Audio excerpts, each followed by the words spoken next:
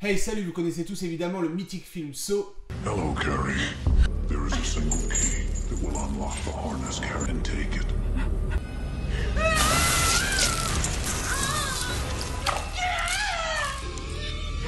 Ouais, on est d'accord, c'est un peu gore, mais aujourd'hui on s'en fout car on n'est pas là pour faire du cinéma et de l'image, mais on est là pour faire du son. Et je suis très content parce que j'ai un très bon ami qui est compositeur et qui lui fait des musiques de jeux vidéo, des remakes de films, adaptés pour jeux vidéo et tout. D'ailleurs, je vous invite tout de suite à aller checker sa chaîne parce que c'est vraiment du lourd, c'est John Robb. Il fait vraiment plein de compositions, plein de musiques dans un style justement orchestral, adapté surtout aux jeux vidéo et surtout avec une teinte que moi j'aime bien, assez dark, assez noire et surtout horror. Et comme on se connaît très bien, on a déjà beaucoup bossé ensemble, aujourd'hui il a fait appel à moi pour lui enregistrer des guitares, pour en réarranger certaines qu'il a déjà composées et justement créer des nouvelles lignes de guitare. Et cette fois-ci il s'attaque à une réadaptation de la musique de So, c'est parti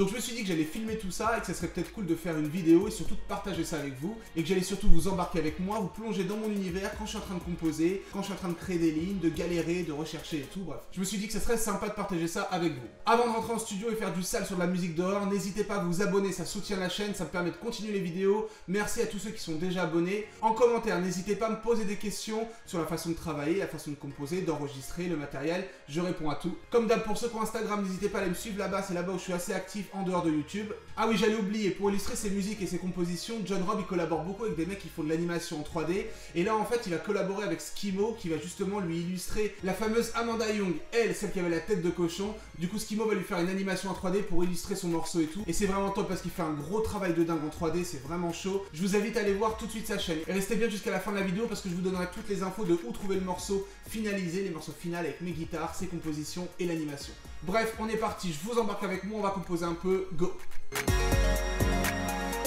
Donc là, ce qui va être très différent d'une compo traditionnelle, où on compose une intro, on compose un couplet, un refrain, des lignes basiques, standards. Là, en fait, c'est pas totalement ça, parce qu'on est vraiment de la musique ambiante, de la musique de jeux vidéo, de la musique de film. Donc euh, il a une façon très particulière, justement, de John de composer. Et euh, ce qu'il a fait, c'est qu'il a déjà enregistré des guitares, mais virtuelles. Donc moi, je vais devoir les réenregistrer pour qu'il y ait un côté un peu plus humain, organique. Et ensuite, moi, je vais composer, je vais le dire beaucoup ce mot-là, par puzzle. Voilà, je vais faire des petites boucles, euh, des petites parties qui vont lui permettre après de les coller un peu où il veut et de construire une composition. Donc notre but aujourd'hui c'est de réenregistrer les guitares qui sont déjà existantes, d'en réarranger certaines et aussi d'en composer pour que lui en fait il ait plein de petits bouts de guitare et qu'il puisse faire un beau montage, un beau puzzle et que ça pète. Donc vu la gueule de la maquette du morceau là qui est plus ou moins assemblé et vous allez tout de suite l'entendre, vous inquiétez pas, je pense que je vais carrément utiliser trois types de guitares. La première ça va être une électrique standard, la deuxième bam, ça fait longtemps que je peux utiliser la 8 cordes parce qu'en fait, euh, c'est des sons qui sont très bas. Il y a des sons vraiment très lourds, très gros et je pense que la 8 cordes, elle peut faire l'affaire. Et ensuite, j'ai utilisé une petite acoustique. Donc pour les guitares, la 6 cordes, on est chez PRS, la 8 cordes, on est chez Ibanez et pour l'acoustique, on est aussi chez Ibanez.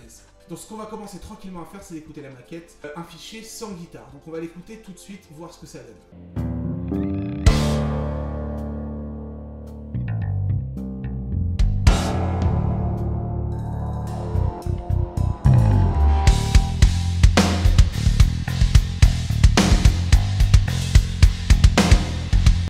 Entendu, c'est assez vite justement parce qu'il n'y a pas encore les guitares, il n'y a pas une, forcément une grosse base mélodique. Il y en a quand même grâce à la basse et surtout la batterie qui envoie du lourd. Donc lui, John, en fait, de formation, il est batteur. Là, ça s'entend dans les trucs. Donc écoutez, le but c'est de relever un petit peu les tonalités. Il m'a juste donné le tempo. Il sait comment je travaille. Moi, je bosse beaucoup à l'oreille, donc j'ai pas forcément besoin des tablatures ou euh, des accords et tout. J'ai beaucoup bossé à l'oreille et au ressenti. C'est parti.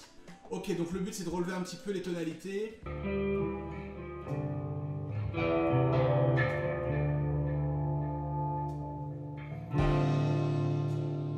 Donc j'ai un truc comme ça. Ça, y a une basse comme ça.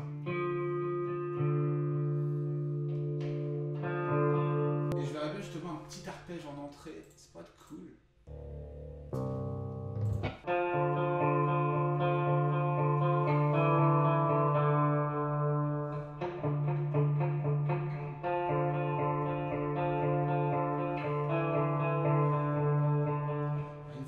Les doigts là. Ça me pète les doigts. Qu'est-ce que ça peut donner ce truc là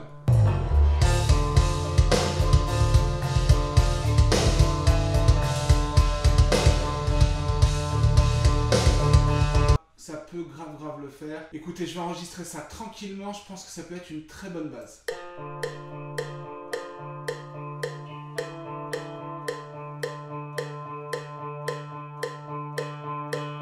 Voyez, ça fait un petit bloc que moi je vais pouvoir lui donner. Je vais juste le retravailler au niveau du son, mais c'est surtout lui qui va le faire parce que c'est vraiment son taf. Et du coup, en fait, ça fait un petit bloc qu'il va pouvoir mettre là où il veut, qu'il va pouvoir aussi automatiser, donc lui donner des effets des fois, l'enlever, le remettre. Voilà. Ça lui fait une bonne base, mais je pense que ça fait vraiment le job euh, pour une première guitare. Allez, on continue. Je vais sortir la 8 cordes. Je vais sortir le monstre des ténèbres. Donc là, la 8 cordes, elle va surtout me servir à poser vraiment les basses et à faire vraiment du gros gros lourd euh, derrière. Ça peut vraiment être cool.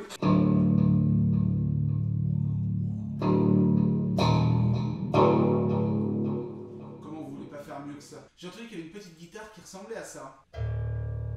Voilà, une grosse basse justement. Mais là ça sonne très virtuel et tout. Moi je préfère vraiment le côté humain, là ça sonne trop euh, plastique quoi.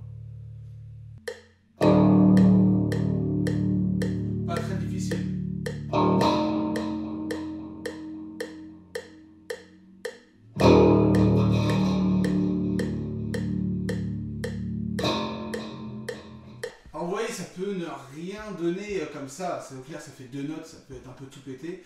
Mais réellement, euh, je pense que ça peut donner une grosse couleur derrière. Et euh, vous allez voir, une fois qu'on couplera déjà deux guitares, il y a quand même une belle diff. Ok, donc là, ce qui serait bien, et puis après on se fait une petite écoute de trois guitares sur le morceau. On va s'enregistrer une petite acoustique juste en ambiance derrière. On va voir ce que ça donne. Alors j'ai un truc qui traîne depuis tout à l'heure en tête. En fait, des trucs vraiment des petites notes étouffées. Euh, je sais pas trop ce que ça peut donner, mais on va voir ça tout de suite. Euh, on va essayer de jouer par-dessus déjà.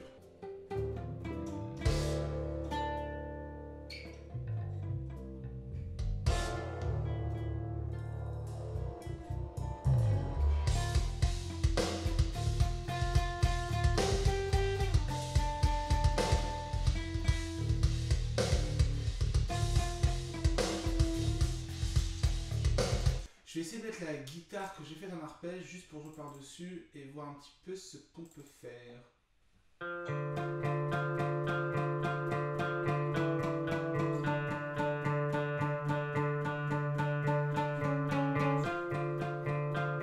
Ok, ok, ok, ok, ok, ok. On enregistre ça tout de suite.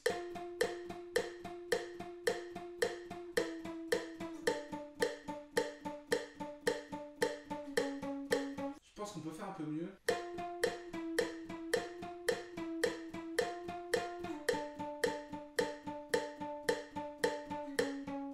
Mamma mia, ça c'est ok.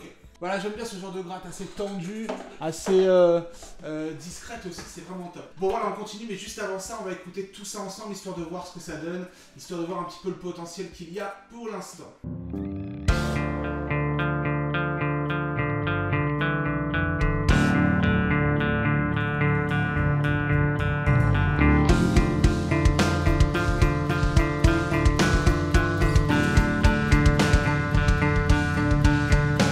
J'aime beaucoup le rendu pour l'instant. Je suis assez content de ce que j'ai fait. J'ai pas trop retouché par-dessus. Ça manque de gratte un petit peu criarde là au fond, là, des, des notes justement très aiguës. Ça manque de ça, donc je pense qu'on va essayer euh, d'agrémenter tout ça et de voir ce qu'on peut faire.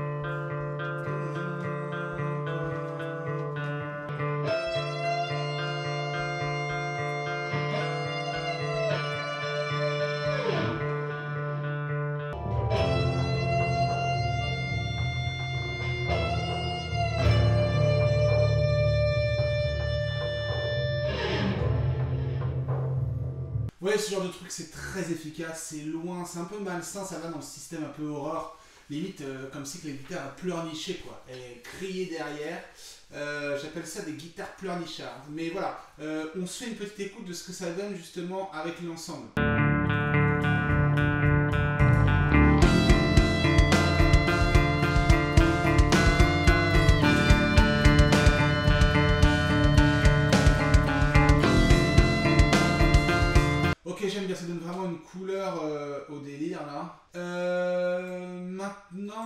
Qu'est-ce qu'on pourrait ajouter à tout ça à votre avis?